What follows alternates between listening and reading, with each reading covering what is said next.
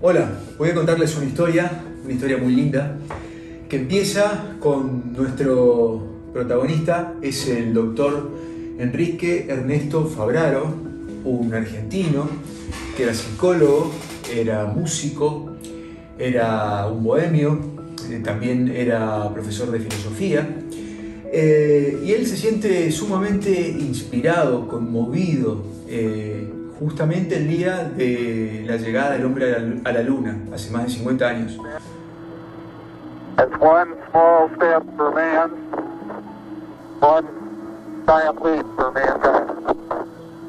1969, un 20 de julio, un día, el día que se acerca.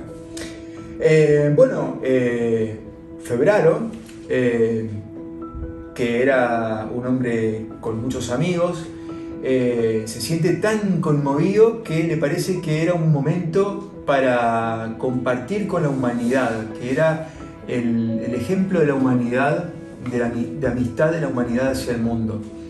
Así es que le cuenta su idea a sus amigos del Rotary Club, el club al que él pertenecía, el Rotary International, que es un club con fines altruistas, de humanitarios y que busca eh, promover la buena voluntad y la paz en el mundo.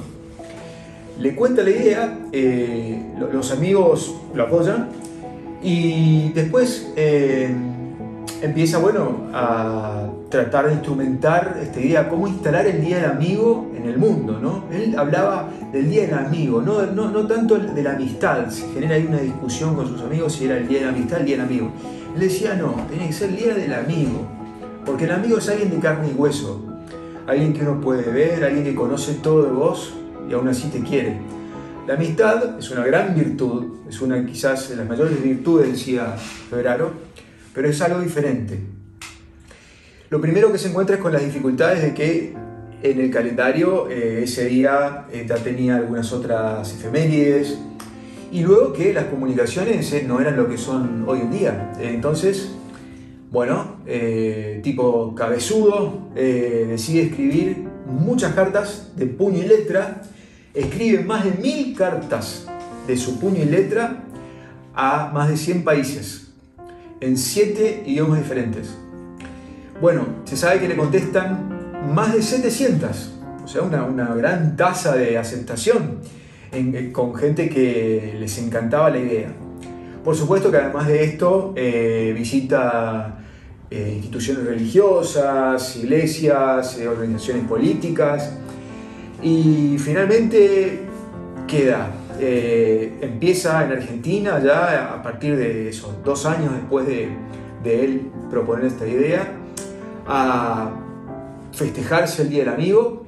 El Día del Amigo es algo que se festeja muy fuertemente en Argentina, mi país, y también en, Brasil, en Uruguay y en Chile y también en varios lugares de España.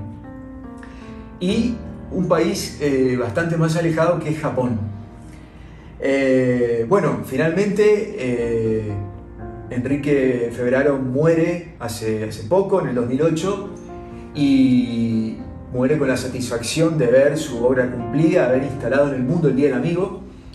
Y eh, antes de morir patentó su invento y se lo donó a su club, el Rotary Club International. Y bueno, voy a leer una frase de él que me parece muy linda, que dice, la amistad es una cuestión teórica, porque por más amistad que yo tenga en el espíritu, a la hora de mi muerte, voy a necesitar seis tipos que lleven mi cajón. Y esos van a ser mis amigos. Bueno, finalmente quiero aprovechar esta oportunidad que se acerca el Día del Amigo, que es algo realmente muy eh, sentido, eh, para invitar a saludarlos, a ir a visitarlos. Y bueno, el té tiene que ver con eso, con los amigos. El té son amigos, es amistad, son proyectos, es buena voluntad y es la paz.